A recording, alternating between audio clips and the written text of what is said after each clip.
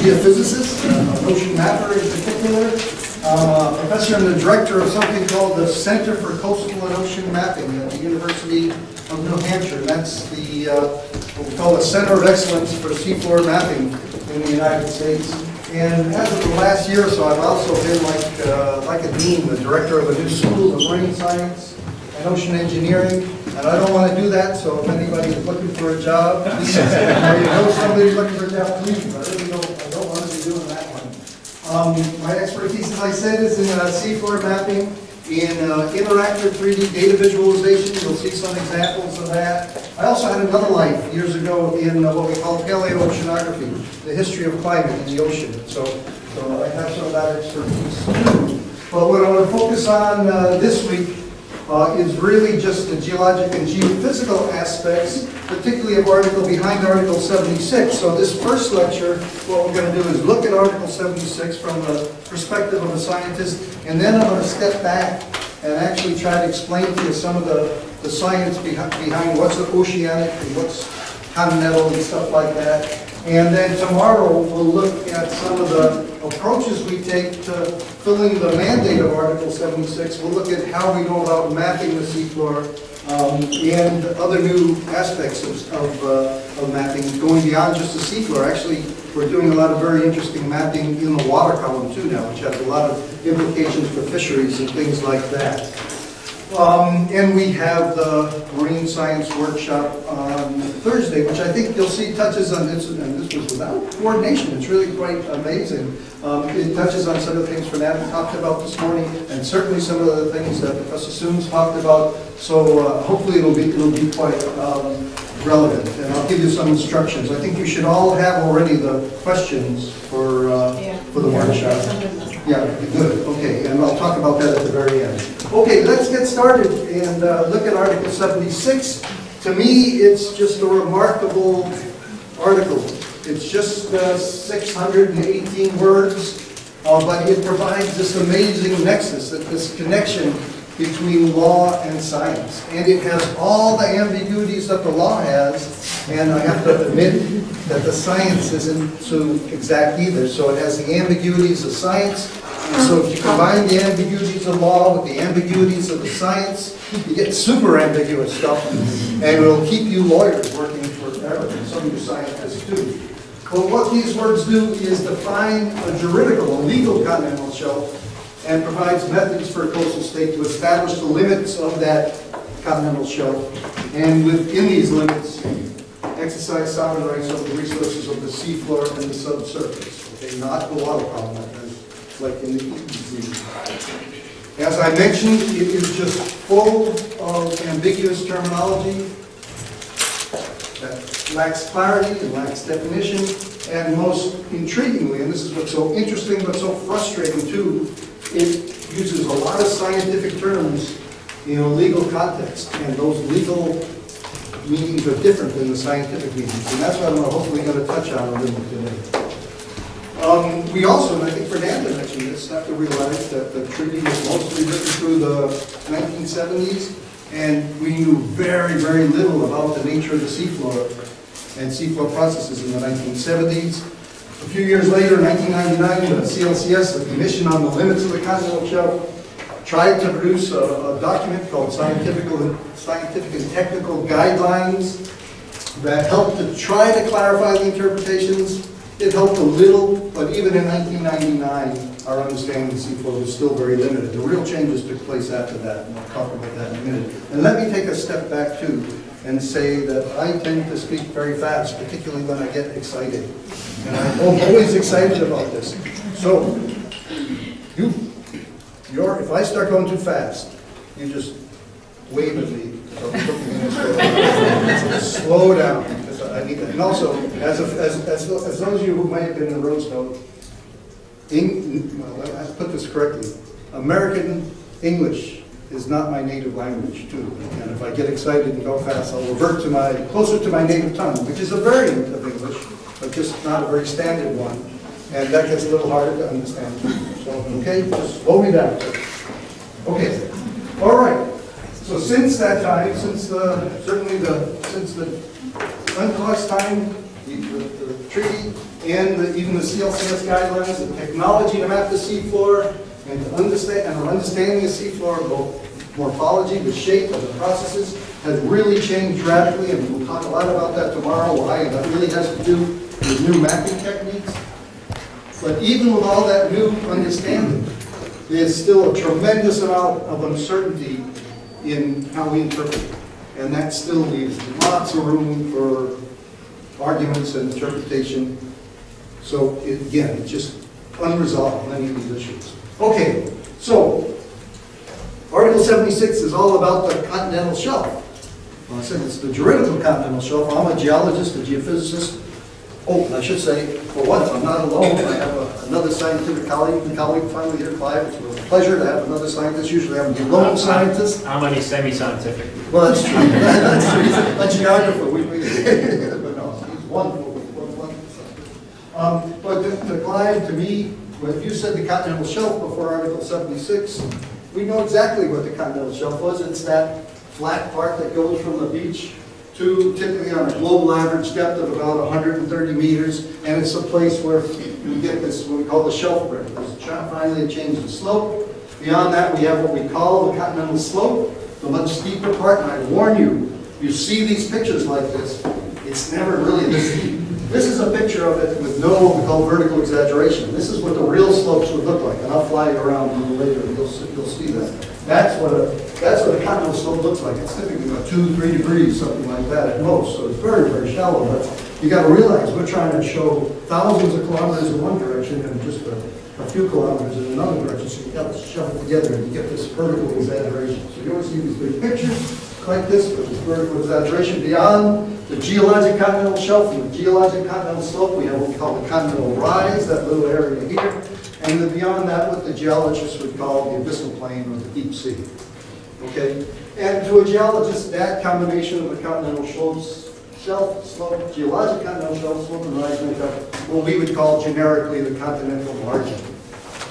Okay, now we jump into Article 76, and the audacity of the lawyers to change the definition. I do not know why, and I've asked people who were involved in the negotiations, why couldn't they use a different word? Why call it Jim, call it John, call it Clyde, call it something?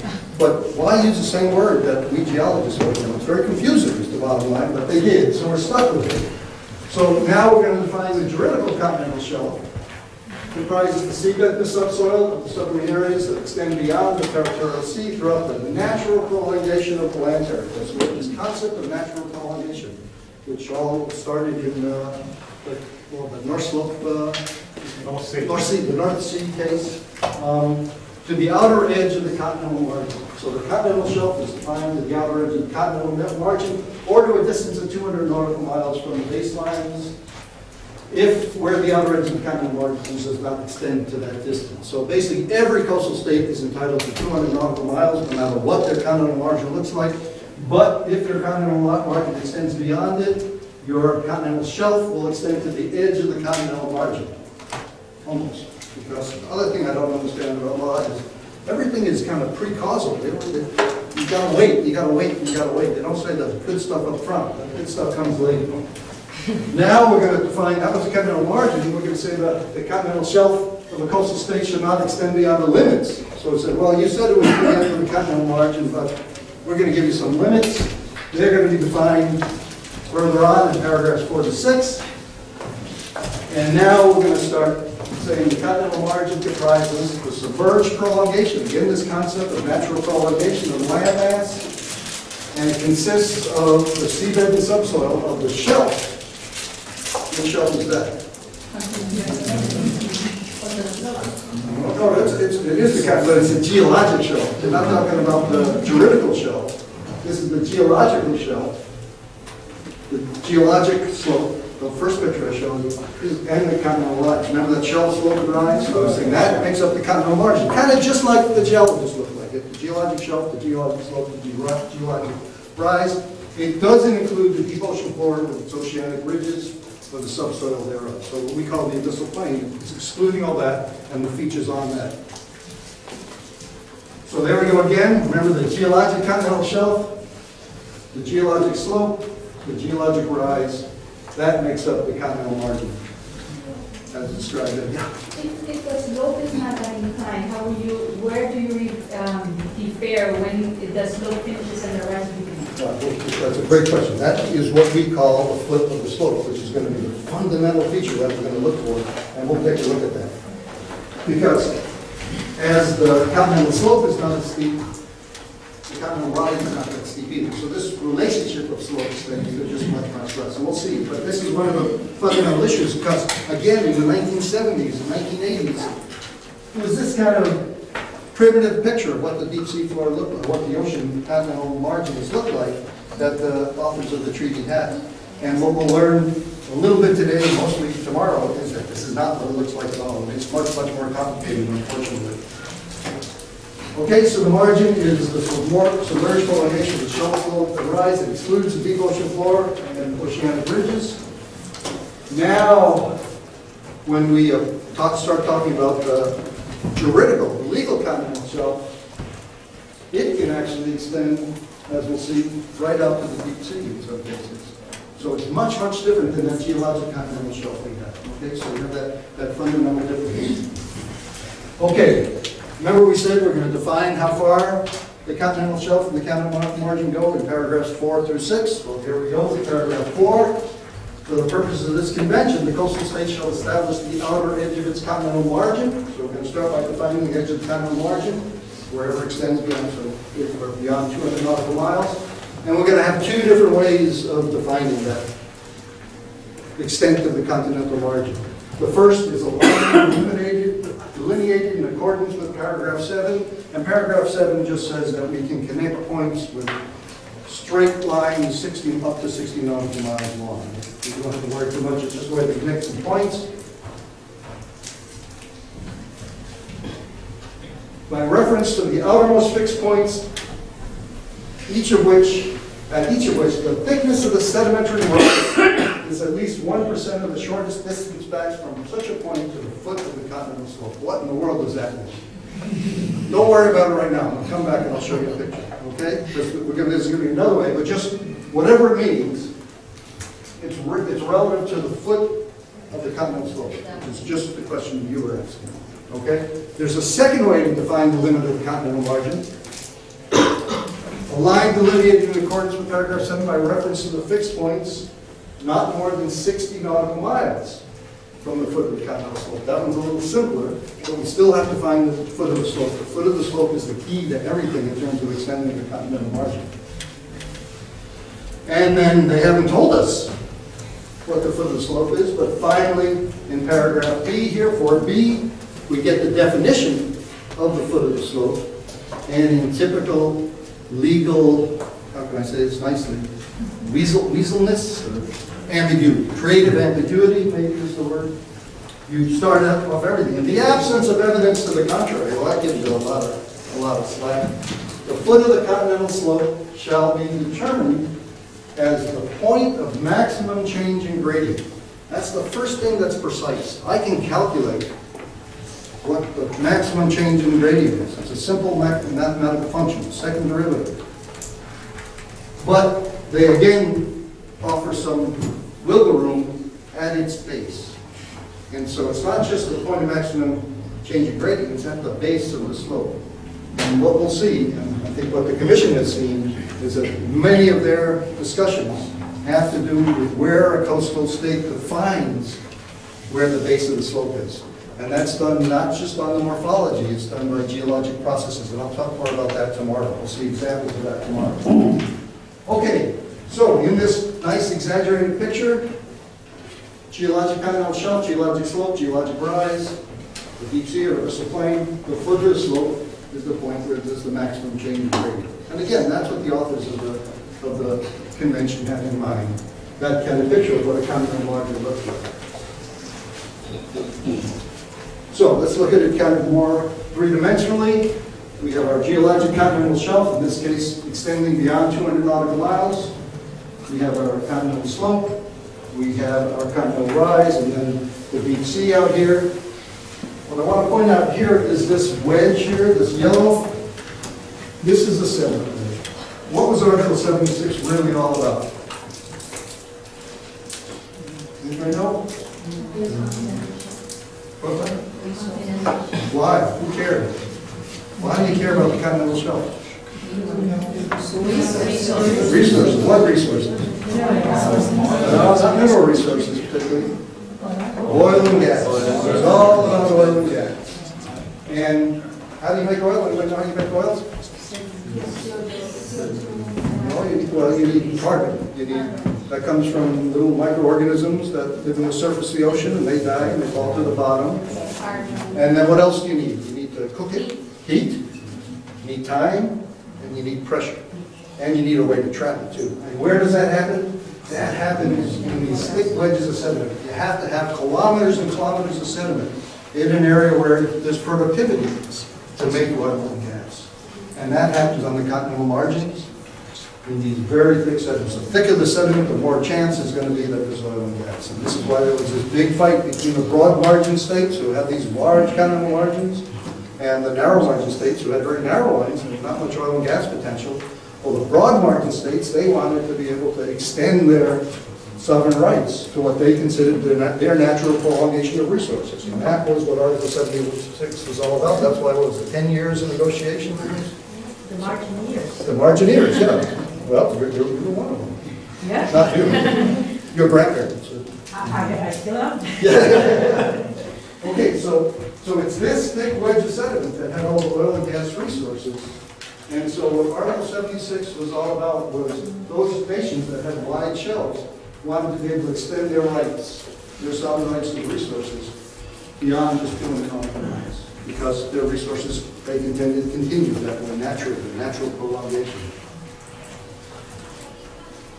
The first way to determine where that was, they didn't quite know. You had the ver- very primitive mapping of the seafloor at that time, and there was a a famous oil company geologist, uh, uh, Hedberg, um, worked for Shell Oil Company, and he probably knew more about the deep sea floor than almost anybody, and knew about- more about oil resources than anybody. And he basically said, well, you know, I know there's this thick wedge of sediment, and if you get to about the foot of the slope, you're probably in- at the end of where the sediment is going to be thick enough to give you those resources. So let's just say, go on 60 nautical miles, and then we're, we're covered. And So that was the first proposal for how you establish the end of the continental margin, a foot of the slope of 60 nautical miles. Okay? And I'm going to go backwards, because I'm going to start with the simpler one, which is this one. That's, this is what we call the Hedberg line, or the, uh, yeah, the line, just call it that. So a line delineating the course of progress set by reference to fixed points not more than 60 nautical miles from the foot of the continental slope. So there we are at the foot of the slope, and this one's pretty simple. Once we found the foot of the slope, the big issue is finding the foot of the slope, and then we move 60 nautical miles. And we've, just- we've established, what have we established at this point? The, the edge of what? The continental margin, not the continental slope, the continental margin, that's right. Okay. But what happened a few years later is everybody was looking at their continental margins, the Irish. No offense. No, the Irish came along, I'm not, I'm not offended. they should be very proud, because it was, it was right. A fellow named Gardiner came along, and he said, you know, if I apply this formula to my margin, I get screwed. We're- We have a lot more resources, but it just doesn't, it just doesn't work for us. So he proposed a second approach, what he called the Gardiner line, or the sediment thickness line, and he said, what I want to do is this one, a line delineated in accordance with paragraph seven, reference to the outermost fixed points, and each of which the thickness of the sedimentary rocks is at least one percent of the shortest distance from such a point to the foot of the continental slope. Very complicated, very complicated to do, and we'll see tomorrow how we actually go ahead and do that. But uh, the bottom line is it starts again at the foot of the slope. The foot of the slope is the key then, so much. And then now we're going to look at the thickness of those sediments. And so here again is our beach, the coastline. Here's that wedge of sediment. We have the the geologic continental shelf, the slope, the rise, the deep sea out here. Don't worry about what's here, I'll talk about this in a few minutes. But that thick wedge of sediment, it's kilometers thick here, they're showing six kilometers. Many places off the east coast of the US, it's 12, 20 kilometers thick. Sri Lanka has a usually thick, lots of places, very thick sediment, great prospects for oil and gas. And so what Gardiner said is, I want to find the foot of the slope again. There it is here. And now I'm going to look at where that sediment thins to 1% of the distance back to the foot of the slope. So if the sediment is four and a half kilometers thick here, that's it, right at the foot of the slope. If I move out here, say 100 kilometers from the foot of the slope, here the sediment's about three and a half kilometers thick, so it's way more than 1%. I can keep going, I can keep going, I can keep going, until at this point, I am now 200 kilometers from the foot of the slope, and the sediment is two kilometers thick. So at that point, he said, it's thin enough that I probably don't have oil and gas. I need more than that to make oil and gas. So that was just a second approach to doing it. And so you apply that formula, and in this case, just in this imaginary case, we apply the the sediment thickness formula. Looking at the thickness of sediment, we find all the points where the sediment thickness is 1% of the distance back to the foot of the slope. And so we have two different approaches for establishing the limit of the continental margin. The sediment thickness approach and the Hedberg line. What we can do is use either one to our advantage, whichever is to our advantage. So we can mix and match it, we can combine them. So in this case, which is most advantageous? The Hedberg line, we'll use that. And then you'll switch over to the sediment thickness line. And so there we have it. That's the edge of our, edge of our line. Continental margin, that's the edge of the continental margin. We're still in paragraph four. We're not going to define the edge of the continental shelf until paragraph five, because we have to apply paragraph five to now define the edge of the continental shelf. So paragraph five is going to say, well, we've gone through this to define the edge of the continental margin, but we're going to constrain you a little. And We're going to put two different limit lines up for you. We're going to say that the outer limits of the continental shelf now shall, either shall not exceed 350 nautical miles from the baselines. That's the only really simple one, just a simple measure. Well, not simple, it's called what, a geodetic measure. I think it's really, a geodetic measure means that it's a measurement on a sphere, so you can't just kind of take your Mercator projection and, so it's a little complicated measure, 350 nautical miles from the baselines. Or shall not exceed 100 nautical miles from the 2,500 meter isobath. An isobath is a line of constant depth. We call it the contour, the 2,500 meter contour. Where's 2,500 meters deep? So what do we do? We've now, in paragraph four, defined the edge of the continental margin. Now we apply the limit lines. The first one is we find where it's 2,500 meters deep and go 100 nautical miles. And so what happens in this case? Here, the edge of the continental margin is within the limit, so we can use that. But here, the edge of the continental margin exceeds the limit line, so we can't use that, so we'd have to go there. If that was the only limit line. But of course, just to make life complicated, we have two limit lines, so we apply the other one too. The simple one, just measure 350 nautical miles from the baselines, and we look which is the best in all cases. So in this case, the 350 nautical mile line, which is this, different colors on my machine, supposed to be a different color than that, but that's the 350 line. That's where the 2,500 plus 100 nautical mile limit line was. That's where the continental margin was, so we can use all that just fine. So that's the edge of our continental shelf. In here, we're constrained in between the two. We have to, the outer, the continental margin is beyond the limits, but we'll use the furthest limit, which will be the 2,500 meter line.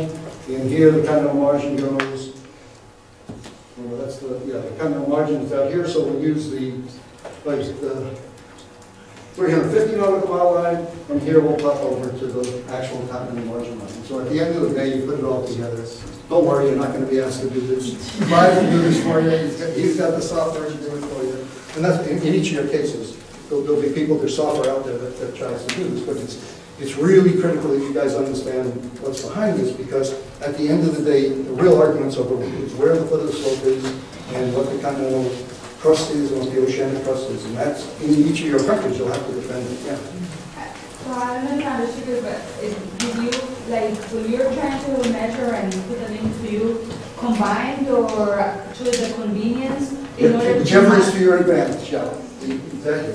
And, and I, I turn to my legal friends, because it doesn't really ever say that. It doesn't, it just says or, it doesn't say and or, it says or. And every time I've asked, people say, well, it's just accepted.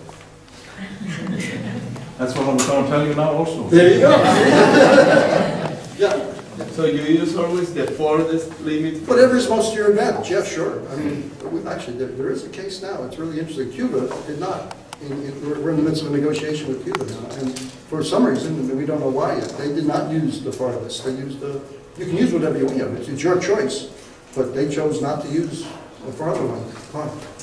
Larry, you- you emphasised that the, the foot of the slope is key. Mm-hmm. Great. Evidence to the, to the contrary. What arguments Uh, We'll get there. would fit into that? We'll, we'll we'll get there, yeah, yeah. There there really is only, uh, let, let me go through the, let me go through the, explain the oceanic and crustal. The best we can all derive, figure out, and just like legal scholars have to figure out what was meant by, we think that was what, what was meant by evidence to the contrary was looking at the transition between ocean and continental crust. If there is no clear foot of the slope.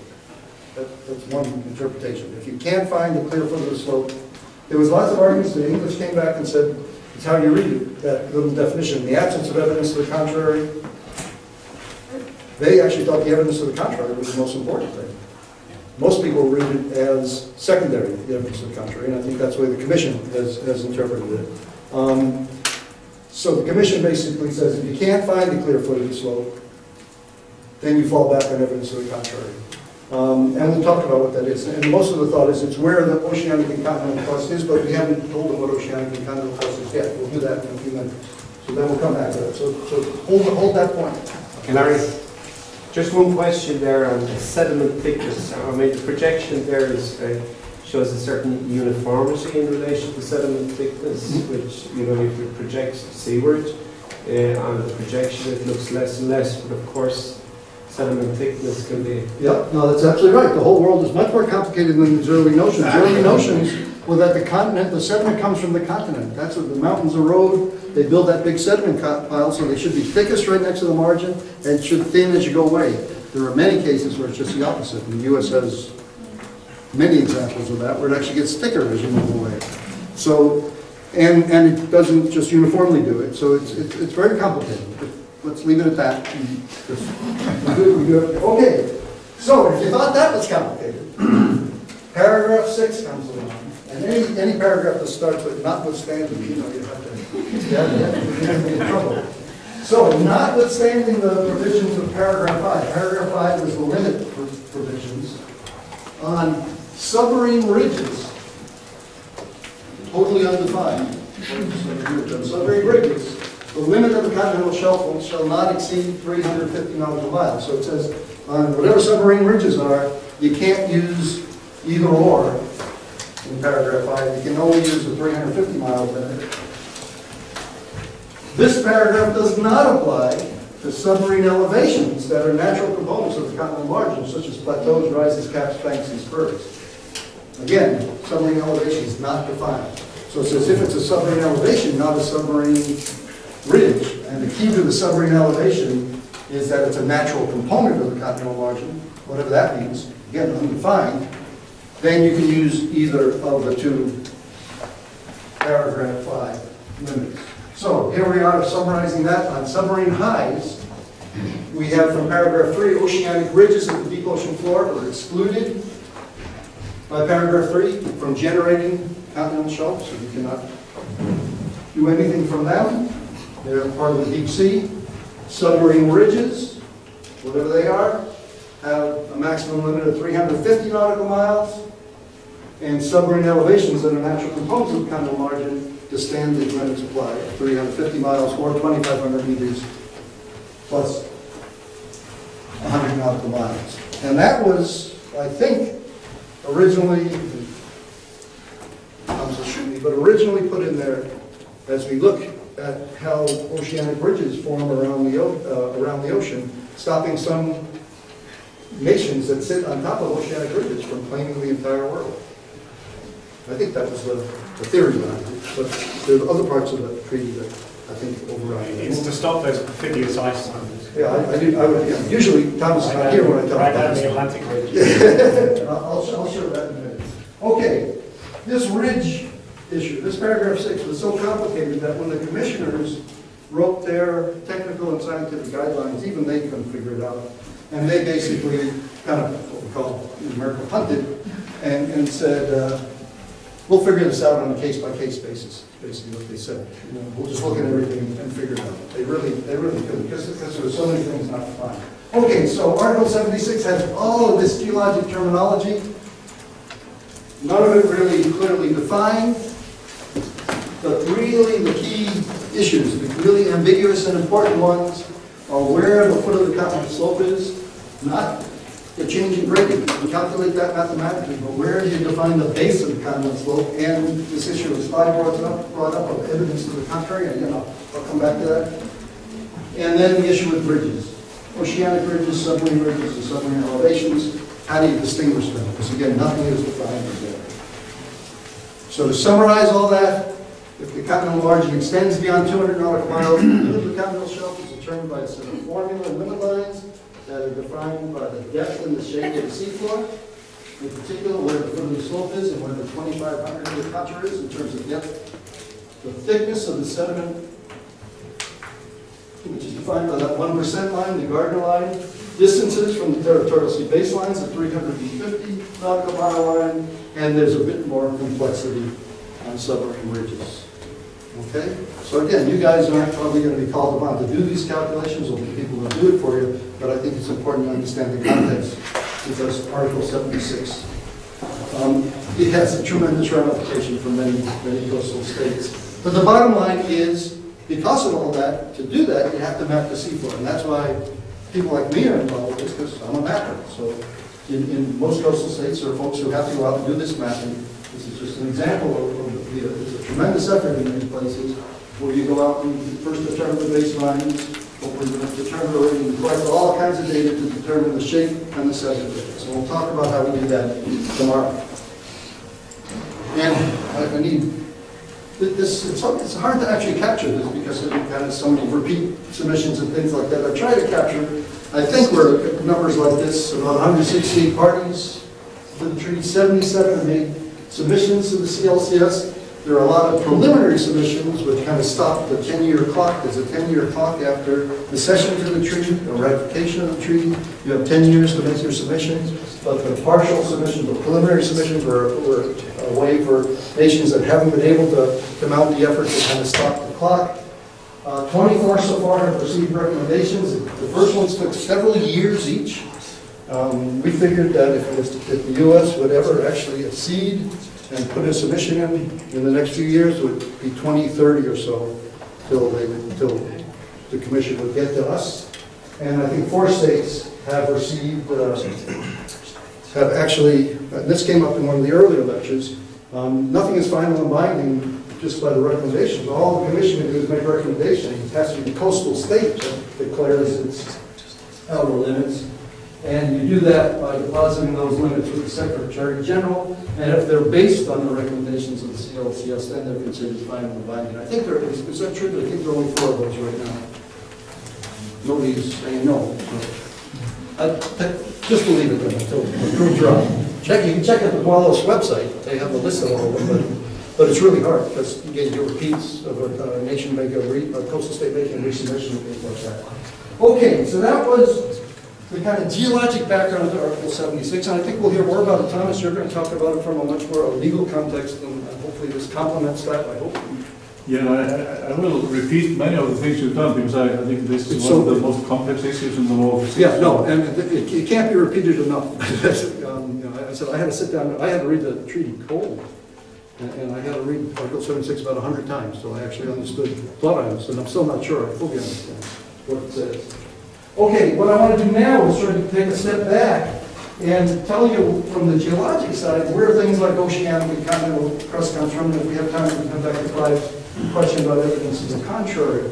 So where, where does the world come from? The, you know, the- the ocean and the continents and all that. And um, how many people have, uh, have seen the Big Bang Theory, that TV show? No? Not not many? Oh. Okay, well, that explains it all, right there. So 13.7 uh, billion years ago,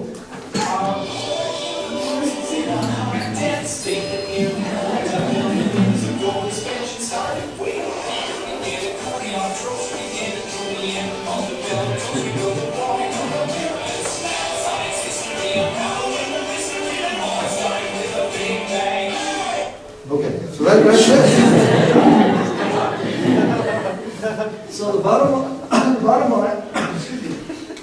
was about 14 billion years ago, and don't ask me why, and this is where you can call back for those of us who are religious to say something.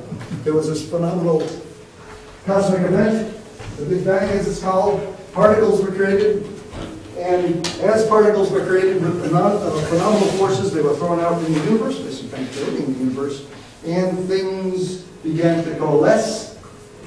Clouds of particles began to gather together, spinning with tremendous energy. Concentrating material, concentrating material, it's running it up, it says it's running up, it's running, just running slowly. We're creating the universe a little more slowly than, uh, but it took a long time because about this one, the solar system, the Earth solar system was formed because these materials separated, separated, separated into planets. And that happened about, anybody know how long ago that was? Four, yeah, that's where it is. 4.3, 4.4 billion years ago. And we separated, this is a whole animation, 4.0 we only have eight planets now, a little planet total, we go demoted. Um, But it'll always be a planet in my heart. So all this stuff kind of separated out, and when things separate out, I don't know, you guys are probably too young for B-52s, anybody had a a Yeah. B-52? Uh, there you go. You know what a B-52 is, this is a drink, where you put all these alcohols of different density, you know, they kind of stratify out, so you know, the denser stuff stays on the bottom, lighter, lighter, lighter, it kills you, you drink. But that's, that's the way the world works, things separate out based on their density, and so the, the planets started to separate out all that material. Well, within the planets then, they too started to separate out their material, and we look at the Earth, the Earth separated out, the Earth is about 6,400 kilometers to the center of the Earth. The center of the Earth is actually made of solid nickel and iron. How do you know that? Nobody's been there, you know, the movies, some of the movies. And Jules Verne said he was there. Not true. How do we know what the center of the Earth is? Perfect, perfect, yeah, that's excellent, yeah, so, so seismic, well, actually, the best is, you know, honestly, nuclear blasts and earthquakes generate big waves through the earth, and they, you can track them, and depending on their speed and how fast they go and how they bend, you can actually try to derive or invert the information. And so we had an idea that the inner core of the earth is solid, nickel and iron, then there's an outer li- liquid core, of same kind of metal type stuff, but all liquid, tremendous, as you can imagine, pressure, geothermal gradient, 10 to 60 degrees per kilometer. How many people have been in a mine, just like a mine, a few kilometers down, and already it's stifling hot, because 10 to 60 degrees per kilometer, but this is 6,300 kilometers, you can imagine the temperatures and the pressures down there. So things separated out on density, by density, but also the final thin little layer on the top separated out too, and that's what we call the Earth's crust. And it's separated out into different materials. Um, so 4.3 billion years ago, the Earth formed, we had that differentiation internally, but also externally. And the continental material, which is the lighter material, separated out from oceanic material, which is the denser material. And let's take a look at those properties right here. And what we see is continent material, and you can look at its properties. Uh, You all should have these slides. You should, if you don't, let me know. When you see typically the continent's 30 to 50 kilometers thick, the continental crust. This says granite, it's just, it's, it's geologically light, it's pink, just think of it as pink, light stuff. The oceanic crust, much thinner, 5 to 12 kilometers thick. It's made of what we call basalt, much denser. And so the dense stuff stays lower than the light stuff, which floats. We have kind of a semi-liquid plastic material this is floating on, we call a mantle. And the continents stand much higher. The average height of the continents, anybody know? I don't know. 325. No, I think it's about, it's closer to probably a thousand meters, I think, would be the average continent height. Average depth of the ocean? That one, I don't know. Anybody knows? 3,000 meters. So it's a 4,000 meter difference, and that's just because of the difference in the density. Well, when you have that difference in the density, high stuff standing and low stuff sitting here, and you start generating through all this kind of cosmic formation stuff, water. Where's the water going to go? Into the low places. So we make oceans too. So the, because the oceanic crust is more dense, And it sits lower, we fill the oceans with water, and we have this kind of structure. And this comes back to what uh, Fernando was talking about today, that, remember I said there was this geothermal gradient? 10 to 60 degrees per kilometer, getting hotter and hotter and hotter, and a lot of that's capturing that initial energy of formation of the solar system, and also some of it just radioactive materials that are down there, but tremendous heat down there. And that heat starts, where does heat go? Heat always rises, right? And so it's trying to rise from the center of the earth, um, and it doesn't do it evenly. It comes up in some places and then cools, and we get these things called convection cells, so we have an heat coming up in some places and coming down in others. You get this circulation of, of, of temperature, and this starts actually breaking up the continents, breaking up the continental crust and the oceanic crust, creating something we call plate tectonics. And so it looks like this. We have heat rising up in a certain place. This happens to be in the middle of an oceanic crust. And so what happens when heat rises up in the middle of an oceanic crust? We have Iceland. Or ridge crest. A ridge crest is formed, and if you do it enough, Iceland is the ultimate, the ultimate um, expulsion of, uh, I'll just leave it as ultimate. Of of magma. Volcan, yeah, yeah, volcanism, yeah, that's how volcanoes are happening. So we have that, and it actually splits the crust, and that convection cell will start moving the crust away on one side, away on the other. You start the animation here, and you see what happens. And so we have heat coming out, splitting the crust, creating new crust at that point, and moving it, moving it along. It can't go on forever. Eventually, it cools down and gets dense. The hot crust is light. But as it cools down, the new crust is light. As it cools down, it gets heavier, and it'll eventually, what we call subduct. It will move down either under another continent, because it, it can never, continents are light, so it's got to go under a continent. Sometimes it'll subduct in an oceanic plate too. We'll see that in a minute too.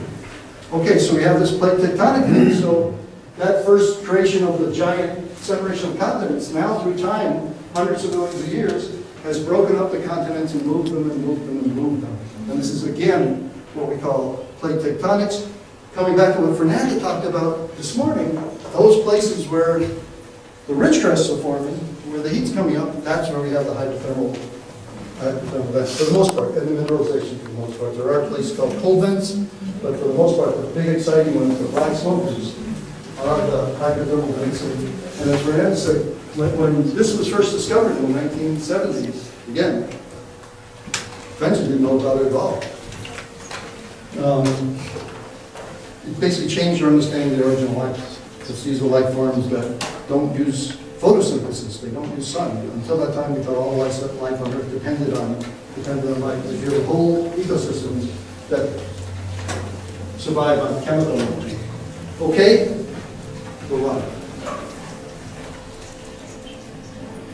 So now, we have this picture of, of the plates. Here's one of our ridge crests, this is the Mid-Atlantic Ridge. So you can see the ridge crest coming down, down, down, a little offset, but let's move up to Iceland. So you see how Iceland sits right on the ridge crest there, but it's this massive, massive profusion of lava. And you can see why, and the Azores also associated with the ridge crest. But you can see why the authors of the convention said, if I would draw a 2,500 meter contour, potentially it can go, nobody really knew, it could potentially go all around the ridge crest.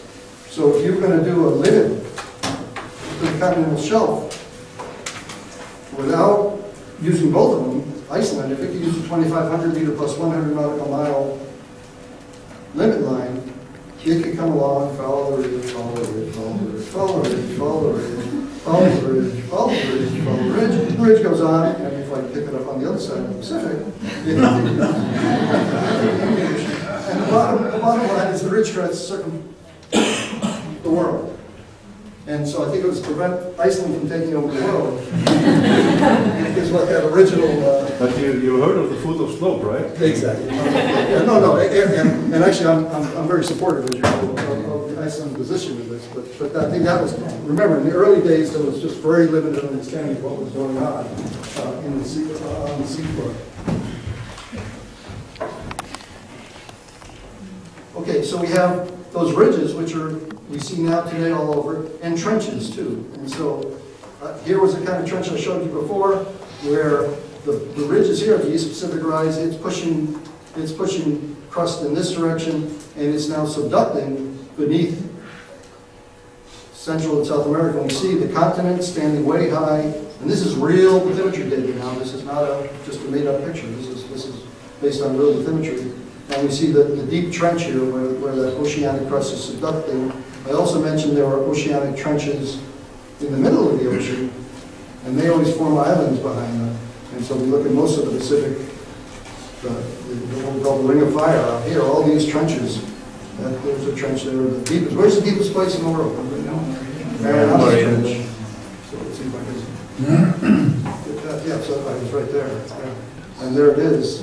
Yeah, about, well, it goes down, anybody know the depth? Five thousand? Five? That's- Ten thousand nine hundred ninety-four. I know, because we mentioned it, we'll see that tomorrow. Um, Yeah, yeah, and so that's the deepest spot, so that's an ocean-ocean trench. Okay, let's, let's get off this. Let me come back here.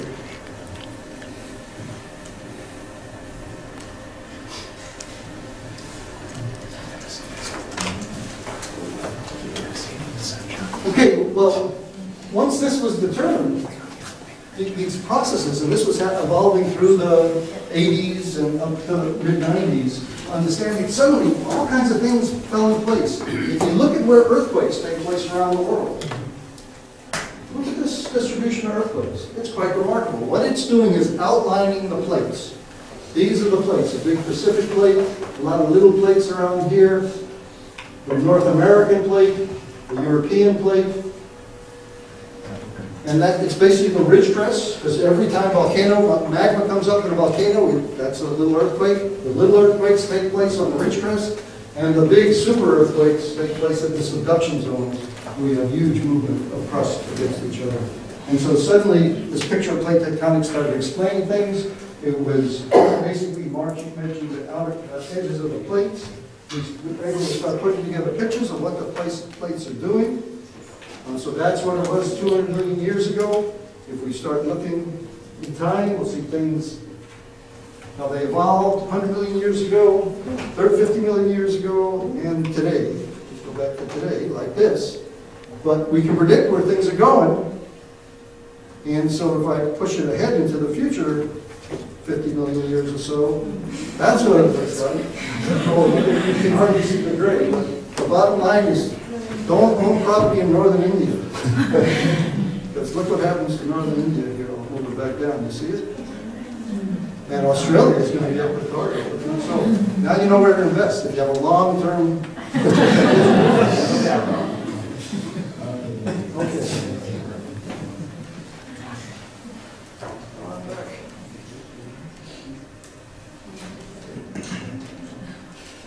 Okay, and again, it just starts putting lots of things into context.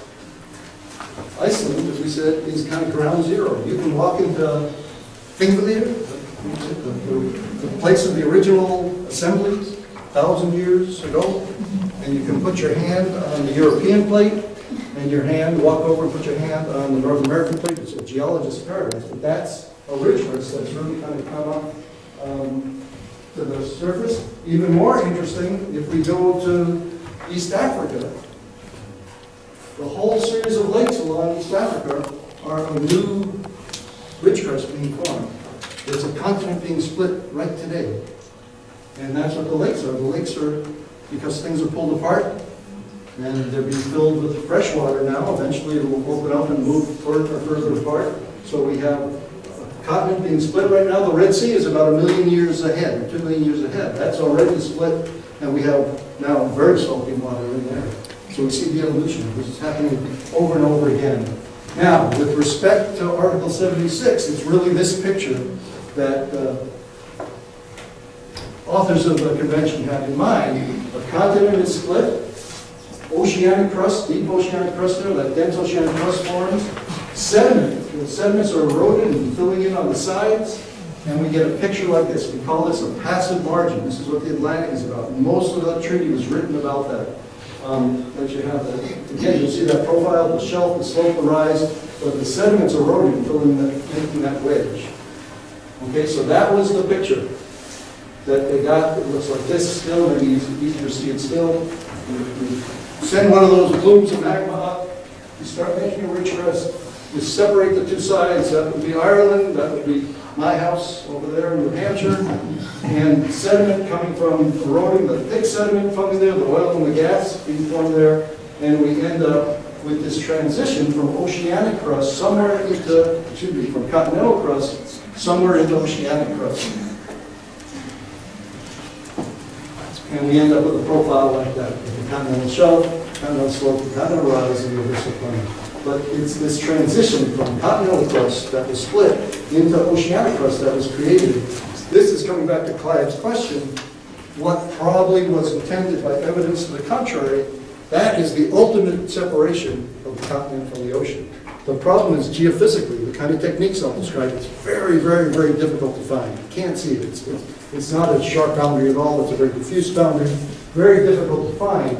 But what, at least my interpretation, the other, what is meant by evidence to the contrary is if you cannot identify a clear maximum change in gradient, you're allowed to fall back on evidence to the contrary, and you can use geophysical evidence to look at where the continental oceanic crust boundary is. There's been only one submission that's used evidence to the contrary, it's Argentina, and I think they got positive recommendations on that- Yeah, yeah. I was a rumors, I don't know when rumors become reality, so, yeah. I was not involved with the submission personally, but it was approved, so. Yeah, yeah, it- so- so, so that's the first and only, so it's very, very rarely invoked. We've had probably seventy-something recommendation, uh, seventy, seventy-something submissions, only one has used them, u- using. That's my old, that's my not standing used. But- Yes, oh no, it was a very small part, it was a very small part of, of the submission. So, so that's, that's the story, and that's where this idea of this shelf this came from. Okay, so that comes back to, now you should understand where this came from, where the sediments came from, the sediment wedge, and how that abyssal plain of the deep sea is that oceanic crust that sits much lower. But all that was pictures and cartoons of you know, what people thought happened. What I'm going to come to tomorrow is we're going to look at real data, we're going to look at how we go out and map that. And the bottom line, and give you sneak preview, when we go out and in tremendous detail we have now to be able to map, look at, this is the Atlantic, which was really the, the, the type section. This is what, the- this is what the authors of the convention had in mind. But you tell me where's the, this is going to break back to your question, where's, where's the base of the slope there, where's the foot of the slope there? Very, very difficult to find morphologically, just on the shape. And what we have to call upon then is other processes, geologic processes, and start thinking about, we'll talk about this tomorrow, what are the processes of the slope versus the processes of the rise that might separate them? We'll talk about that tomorrow. Okay, I just wanted to end by saying that I showed you the, what we call the passive margin, the kind of Atlantic margin. This is a picture of what happens in the Pacific, um, where we have uh, trenches, or wherever there's a trench. This is an oceanic continental trench, where it's subducting the deep continental crust. Looks like that. What we tend to do is when we do that, the friction of that oceanic plate going beneath the continental plate, the friction, that creates heat, and what's heat do? It melts the rocks, it creates volcano, volcanoes. And that's why the Andes are there. We call that, it actually is a rock type we call andesitic material. So we get big, big mountains, typically at the edge of the trench, because we create volcanoes. But we can all, that's that, that's the picture I just showed you there. And we call that a Chilean type trench, where the oceanic plate comes under. These mountains are the result of, these are all volcanoes, the result of that friction. So we can also have an ocean-ocean subduction or convergence. We're out in the middle of the oceanic plate, you do that. And then again, the friction now creates islands, they call these island arcs. So the Philippines, and Indonesia, all these kind of islands are the result of that subduction, and that's why the big earthquakes are there. Beneath the oceanic crust creating these island chains, Japan, the same thing. So Mari- Mariana type trench. So we have the big subduction and islands behind, it. subduction here and islands behind it. Okay, so, and, and in all honesty, the, the, certainly the authors of the convention knew nothing about that at the time. The CLCS knew a little about it, but mostly they were thinking of this kind Atlantic passive margin, what we call it. And coming back to what Fernando was talking about, when we get this kind of operation, this becomes a huge place, particularly in what we call back arc basins, because typically behind one of these trenches, oceanic trenches, you get the islands, and then you get a little basin, a new ocean being formed. Marianas, we call back arc basin, and great, great place for making massive sulfides. A lot of great massive sulfide deposits there. Okay, so coming back to that typical cross-section of the ocean again, shelf slope rise, um, out, you can see the ridge crest in the middle, shelf slope rise, shelf slope up, way. That's the form of it. What's happening in the water column up here? You said there's all this sediment being, this is the oil and gas stuff that's come from the continent, the mountain eroded, filling in there, all the stuff coming in, filling in there, lots of good oil and gas territory. But what about in the middle? What's happening? What's covering all the seafloor? If if we didn't know any more, the seafloor should all be made of that black stuff I talked about, the salt, the oceanic crust. But it's not. For the most part, if we go sample on the seafloor, it's soft sediment. But it's not the same kind of sediment that's sitting here.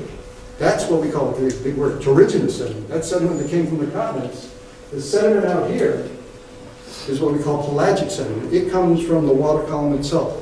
It comes from all these little zillions of microorganisms, some animals and some plants, zooplankton and microplankton, zooplankton, yeah, that live, phytoplankton, that live in the surface waters in the photic zone where there's light and everything. They only live for about two weeks. They're tiny little microscopic things. They have a hard skeleton, either made of calcium carbonate, calcite, or made out of silica. And then they fall to the bottom. And so most of the bottom of the seafloor here is now covered by these pelagic sediments. And these is what some of these little critters look like, these little bugs that make up the seafloor. And this is not actually what the bug looks like. This is its skeleton. These skeletons have a, a little cytoplasm. They're actually quite beautiful, little cytoplasm uh, covering. And if you go around any of the oceanographic institutes, you'll see all these people who wear thick glasses because they spend all their lives looking at microscopes trying to identify these. But these are usually uh, useful. You see what says here? Tropical, warm, subtropical. Cer- Certain species live in different climates, so you can go down into the sediment and understand what the climate was like through history by looking at them. So we have these uh, these uh, little skeletons. And so if you look at the world ocean, the terrigenous sediment, the stuff that comes from the continent, the brown stuff, that's what Article 76 is really all about. That's the oil and gas stuff. So you see where those are, about the continental margins. And then you have the rest of it is this pelagic stuff, made out of silica um, or carbonate. Not really much economic use for them. The- the- Some of the, some of the silica stuff is used in filters, diatomaceous earth filters, but really not much economic value for them in their present state. But sitting on top of the places where the sedimentation rate is very low are the, what you call them, potatoes? The- Um, well, I see, I always call them baseball. American, the American group, these manganese nodules, which through time have fostered lots and lots of interest um, up and down. In the 1970s, I'll take the last minute to, to tell the story, which shows how careful we have to be. There was a huge boom, many, many companies building huge systems to mine manganese nodules. And the reason they were doing it was because Howard Hughes, I don't know if you remember Howard.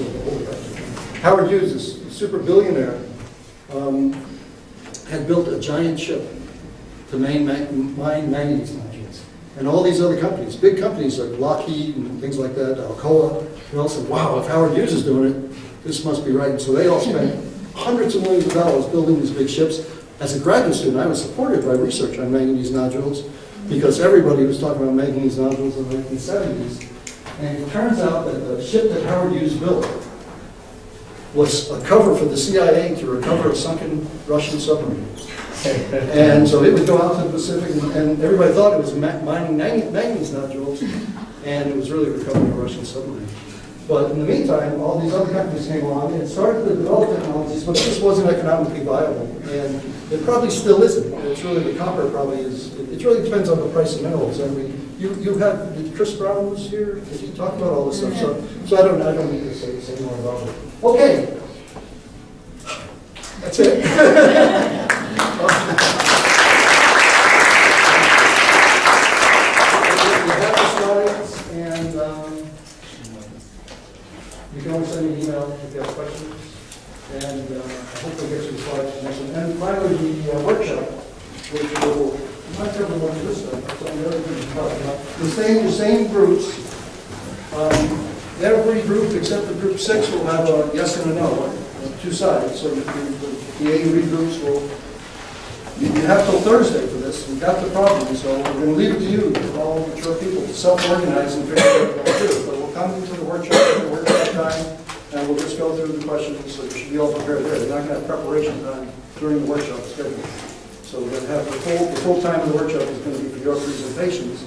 And the only exception is group six B, and Inga will explain They know already. they know, oh, oh, that's I even better. informed- So we've distributed six B amongst a couple of the other groups, okay. And so- so Any questions? Yes, Oh, good. yeah, I just want clarity for some alternatives.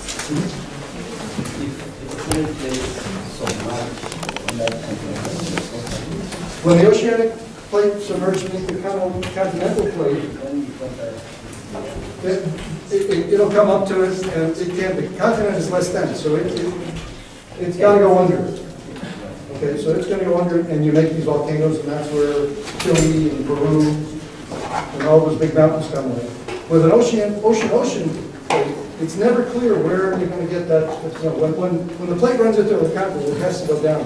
But where they form in the middle of the ocean probably has to do with long, long history and, and zones of weakness. It's just, I, I don't think there's a rhyme or reason for it. It's probably basically just looking for zones of weakness, and finally, they find the zone of weakness and start going down, because if we didn't have subduction, you're constantly creating new crust.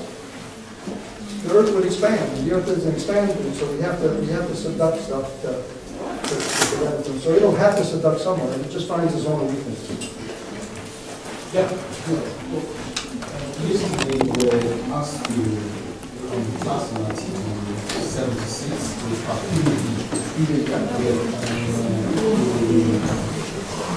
So states it, yeah.